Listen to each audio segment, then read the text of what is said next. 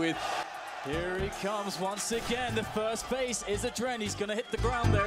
Se você acha que essa é a jogada mais bonita da história do CSGO brasileiro, você está enganado. Quer dizer, pelo menos na minha opinião, porque não há um Puskas do CS para definir isso. Mas na minha opinião, aquela é a segunda jogada mais bonita da história do CSGO brasileiro. Tem uma, mano, muito mais impressionante do que aquela, talvez não mais importante, mas eu não tô aqui para mostrar a jogada mais importante, sim a jogada mais bonita. E na minha opinião, aquela do Coldzera fica em segundo lugar. Vem comigo que hoje eu vou mostrar para vocês as cinco jogadas mais bonitas da história do CSGO brasileiro, na minha opinião. Assista o vídeo até o final e no final do vídeo você comenta se você discorda. E caso você discorde, comenta o seu top 5. Eu quero ver a opinião de geral, beleza? Vem comigo.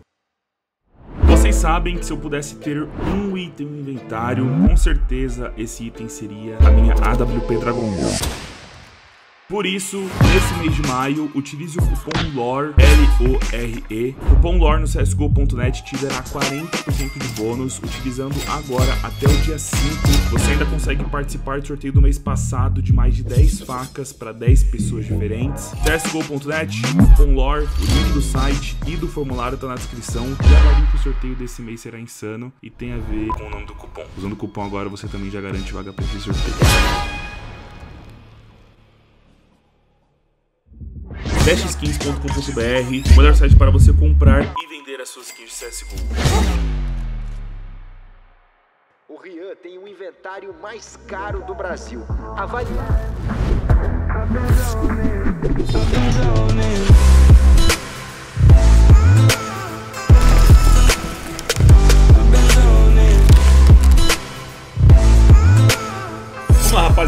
Meu top 5 tem duas jogadas do Fallen, uma do TRK, uma do Coldzera, que não poderia faltar, e a mais bonita, na minha opinião, é de um cara, assim, eu não vou falar quem é, vou dar algumas dicas aqui de início. Ele já jogou na Fúria, já jogou no mesmo time que Fallen, Fer, Bolt, toda essa galera, já chegou em final de Major e hoje tá na Godsent. Quem será que eu tô falando? Tá fácil.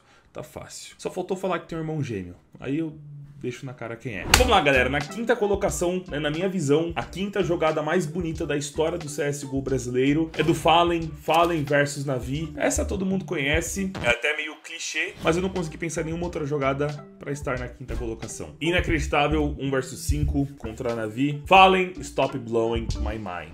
Backside, Navi an opportunity to get that 14th on the board. And then just one round away from that little bit of a sigh of relief. We've been talking about it all event, that 15 giving you a little bit more flexibility. But here we go. And already LG have got something quite uh, quite different in mind from their standard. Well, it's Guardian going aggressive from the B bomb site here, looking to get the first pick. He's going to be smoked out for now. We'll be opening up that connector door. And I'm assuming maybe a teammate will open it for him. He'll just be ready to take the shot. And it's such a perfectly executed strategy there. It's Gold's error. Didn't know what the hell was going on, but the, the T's are reacting fast as team kills coming in. Fallen actually gets seized as well. This kill is there. It's going to be guarded. Now it's time to fall back. And Fallen going to be capitalizing there as well. As I said, you've won the round at that point. Why are you giving your up away? But still, Fallen battling on here. It's going to be a three-on-one situation after such a glorious play there from the CTs. I love that play. It looked like it was going to fall apart a little bit, but it's actually Fallen that comes in with the TK.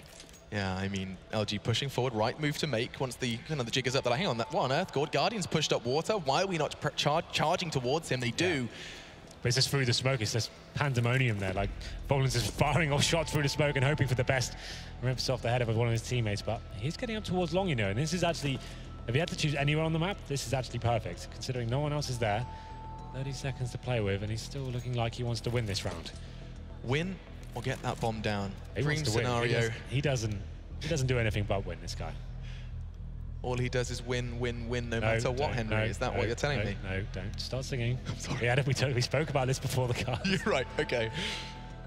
Songs aside, 10 seconds of fun's going to have a wide open sight here. They're he on, could plant towards bank. The hunt. He could oh. plant towards bank and make this really interesting, you know. Five seconds, he knows it. Yeah. He's going to get that bomb down right in the nick of time, and Navi are going to be sitting there quite literally on the opposite side of the map. Oh, and he is just waving a flag saying, come and get me. 17 points of health in a dream. This would be an ace clutch from Fallen. I'm believing. You're, you're a bit of a believer. Would you suggest that you don't want to stop believing? Why don't you cast around? Okay, tags up. One. He's going to get... Oh! oh! I'm starting to believe as well, Henry, because he's got to take a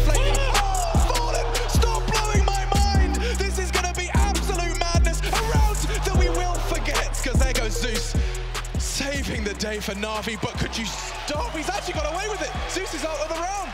No way. Oh He's my god, won round. has done this. I thought Zeus had time, but no. Luminosity. I- Quarta colocação, outra jogada do Fallen, outra jogada sensacional. Aqui, não só pelo highlight, mas pela inteligência, pela importância, tá ligado? Foi o último round da partida. Acho que principalmente pela tomada de decisão, tá ligado? Sabe aquela cena dos Vingadores, onde o Doutor Estranho fica todo bugado assim, tá ligado? Mas que porra é essa? E aí ele vê 16 milhões de possibilidades de futuro pra dar certo. Então, o Fallen parece que fez a mesma coisa e descobriu ali no momento a única decisão que ele poderia tomar pra que aquele round desse certo pro time da SK. Oi, oi, oi. You like that? Yeah, I like it. I, I was waiting to get on one of those. I was hoping if I stay quiet, I'd get on one. Well, for now, 45 seconds remaining. The bomb makes its way towards inner. So Phelps, he's going to have to make something happen here towards that Ivy position. He's going to be up against Carrigan, the master of this area. And I'm assuming Phelps shows presence first. He's trying to stop the rotation towards inner, but Alu's watching towards upper. And now Phelps, can he make anything happen here? Deploys the Molotov. We're pushing through. 25 seconds. If he gets one kill, that's the cue. Here we go, though, towards inner. Kirishima only gets one frag in the inner sight. Phelps coming in for the flank, and Alu with the AWP trying to deny the plant. Alu close though from oil tanker already. Bomb's gonna go down, but he gets the immediate kill on cold. The important aspect for SK. Bomb did go down. Alu starts to slip back. Burr inside of it. Linear position trying to elevate himself and catch them off. And I think Alu may just go for the stick on this. Fallen's gonna try and walk back in as they both get close enough rain. Considering upper has Alu go look. Oh, the. Fallen gets oh! That is incredible. Brilliant play from Fallen as he nails both shots. It's on to Nico. He's heard Phelps drop back down, but he's got to try and bait out the time. And Phelps won't allow Nico to work with much. He's down to 10. And he goes to the off for desperation, but Phelps has had enough. And SK win it. That is all fallen. That is incredible. And he goes beyond the threat and takes the Sensacional.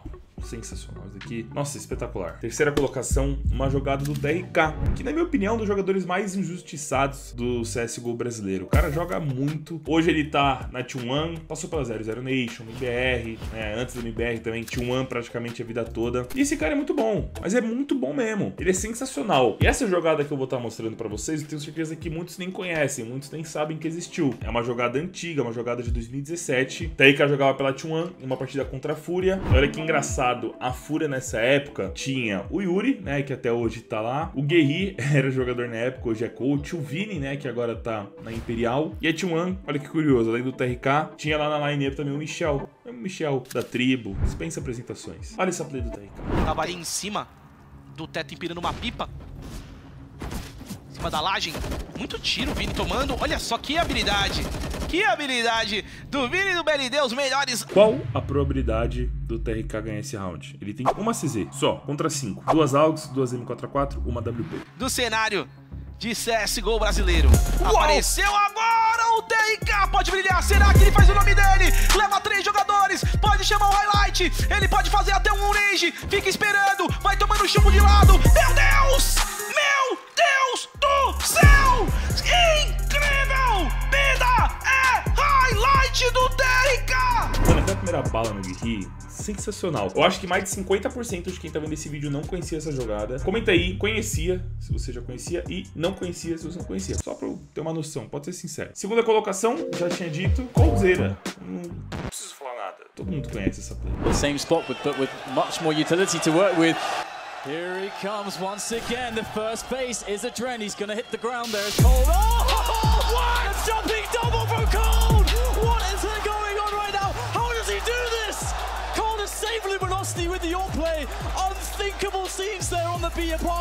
O que ele fez aqui não, não tem explicação, tá ligado? Não preciso nem falar mu- muito dessa play, porque é antiga. Ela foi muito importante também, porque primeiro Major, Major que o Brasil ganhou, a Team Liquid já tinha feito 15 pontos, e a Luminosity conseguiu empatar e depois virar a partida. Então, assim, talvez tenha sido a jogada mais importante, ou se colocarmos o quesito importância nesse vídeo, com certeza essa jogada ganha a primeira colocação. Mas, se for levar em consideração apenas a beleza do round, a pequena probabilidade daquilo acontecer, na minha opinião, a jogada mais bonita da história do CSGO brasileiro é do Henry 1, na época que ele jogava pela Temp Storm contra a Optic.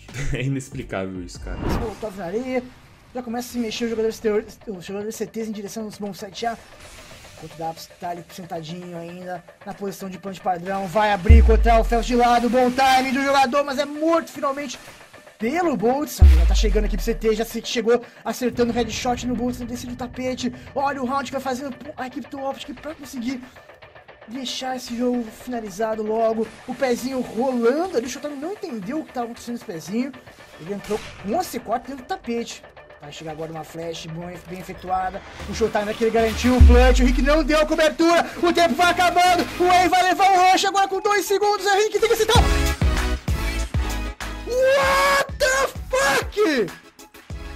Oh, oh my god! Mano, ninguém entendeu nada. Os caras da Optic já estavam dando GG no chat. Pra quem não entendeu, eu vou explicar. 9 segundos, a bomba não estava plantada. O Henry 1 mata um ali, comendo ele dentro do bombe. Só essa aqui já foi um baita de um flick. Depois ele consegue matar um cara que tava passando a faca ali na smoke sem... Sei lá, não deu pra entender. E aí não tinha tempo pra mais nada. Tinha dois segundos. Ele não tinha mais tempo de plantar. O que, que ele fez? Varou exatamente onde estava o último CT. Juro, se ele esperasse mais um segundo, talvez não daria... Ah, sei lá, mano. Inexplicável. Eles empataram a partida, né? Levou pro overtime. Perdeu no overtime. Mas, mano, a probabilidade disso acontecer é zero. Zero. Aconteceu só essa vez. Nunca mais você viu nenhuma outra jogada parecida. Jump shot, você mesmo já deve ter dado um na mirage, tá ligado? Agora, isso daqui, rapaziada, por todo o contexto, isso é louco. E tem uma gravação da reação dos caras na época, na hora que essa jogada foi feita. Dois base, dois base. Só pra vocês entenderem que esse da frente de toca vermelha é o Lucas, tá? O Henrique tá ali atrás, ó. Dois base. Dois da cover, show. Tô saindo, matando. Cover, comendo. Linda. Linda. Só tem dois no um. Caralho! Aqui sou eu! Aqui sou eu, porra! Eu rei, filho da puta! Caralho! Vamos ganhar essa porra! A cara da FNX no final é sensacional. Enfim, essa é a minha opinião das cinco jogadas mais bonitas da história do CSGO brasileiro. Se você concorda comigo, comenta aí. Se você não concorda, comenta aí o seu top 5 que eu quero saber. Eu também tô pensando em montar um top 10 e o meu top 10 pode ser influenciado pelos comentários de vocês. Fechou? Vai que aparece uma aí que talvez até entre nesse top 5. Não sei. Isso foi com base no meu conhecimento. Lembrando, guys, tem o sonho de bater um milhão de inscritos. Então, por favor, se inscreva no canal. É importante para mim. Eu ficaria muito grato se você pudesse fazer isso. Todos os dias, dois vídeos novos. Se você curtiu um conteúdo da hora de CSGO, esse é o canal perfeito para você. Então, se inscreva, ative o sininho. Passe aqui todos os dias, às 14 e 19 horas, para não perder nenhum vídeo. E é isso aí, manos. Eu, Rio, vou ficando por aqui. Até o próximo vídeo no canal Cachorro 337. Falou!